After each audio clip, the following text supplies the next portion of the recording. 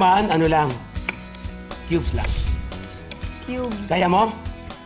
Sige, Paano? gagawin mo yan at ako na may gagawa ng... Gagawa ko ng bungo. Excuse me, konti lang. Go ha, slowly ha.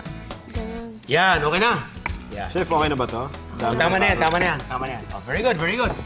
Okay na, maghugas muna kayo ng kamay. Okay na. Tomato, nandyan na. Alright, carrots, mayroon na. Cucumber, mayroon na. Lagyan natin yung ating buwa. Ito, good, buwa. Buwa. Masarap yan. Alam mo nung bata pa ako, when I was in lady.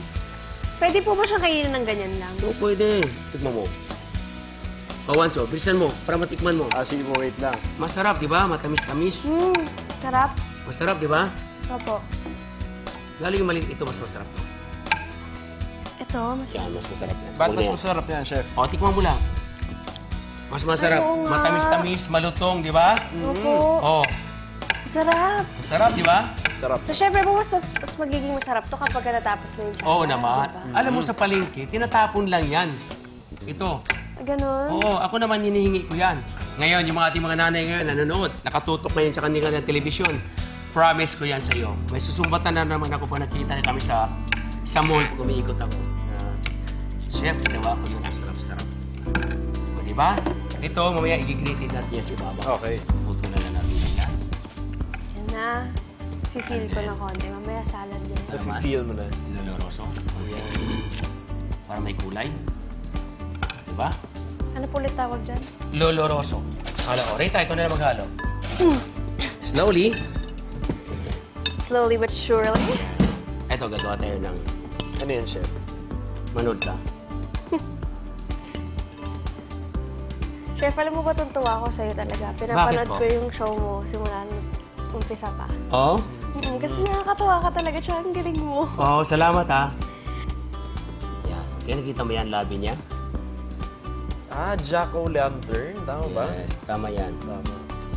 Kasi, masyadong tuyot itong ating cucumber. Kaya, capsicum. Mukhang bungo ba? Mukha Opo, naman ano? yes. Yung Parang walang bintang-bintang Oo. mukha. Okay naman yan. Tapos tandila natin. Kandila. Ito na, ito na, ito na, ito na. Mamaya na natin sindihan yan. Pagkatapos ng salad. Okay, so didrizzle na natin ang ating... ah, Ayan na. yes, Ayan kalahati, na, parang kalahati. sarap-sarap na, oh. Yes, kalahati lang. Kalahati lang. Ah, ganun po ba yung dapat pag naghahalo? Good yun dapat. Para may dating, di ba? May ano, Oo, may di ba? ribe. Oh, May ngayon, step. ilagay natin dito. Ang ganda. Di ba nandiyan yung buwa? Para lalo sumarap, yung ating salad, may gritter ako dito. Parang cheese. Ah, Pero ginagawa buwa yan. Ah, okay. Ay, Mas buwa! masarap, di ba? Instead of egg, kuha na lang ilagay mo. Look at that. Chef, mas healthy ba yan? Mas healthy ito. Mas healthy. Kasi buwa eh. Oo. Di ba? Yes. Okay. Ayan. Tapos, Ayun. At saka parang siya lagi nakita ko nagsindi ng kandila na ginamit yun. Nakakaloka. ayan, harap na lang natin. Ayun. Ayun. Ayan!